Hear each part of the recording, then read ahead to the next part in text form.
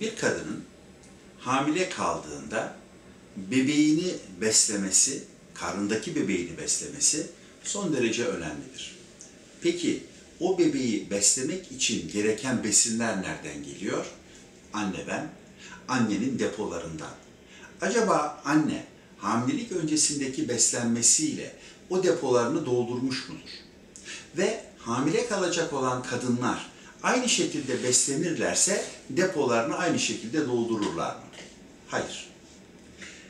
Örneğin beslenme ile ilgili hepimiz biliriz. Hamile kadınlara folik asit verilir. 400 mikrogram folik asit her gün bir tane tablet olarak, kapsül olarak alması söylenir. Peki her kadının ihtiyacı 400 mikrogram mıdır? Cevabı kesinlikle hayır. Vücudumuzda folik asitle ilgili metabolizmayı yöneten genler vardır. Bunların bir tanesi MTHFR, metyonin tetrahidrofolat redüktaz genidir. Bu genin hızlı çalıştığı bir kadınla normal çalıştığı veya yavaş çalıştığı bir kadının folik asit ihtiyacı birbirlerinden en az birkaç kat farklıdır. E biz herkese 400 mikrogram verirsek ihtiyacı bunun üzerinde olan veya bunun altında olanlara doğru olmayan dozda folik asit veriyoruz demektir.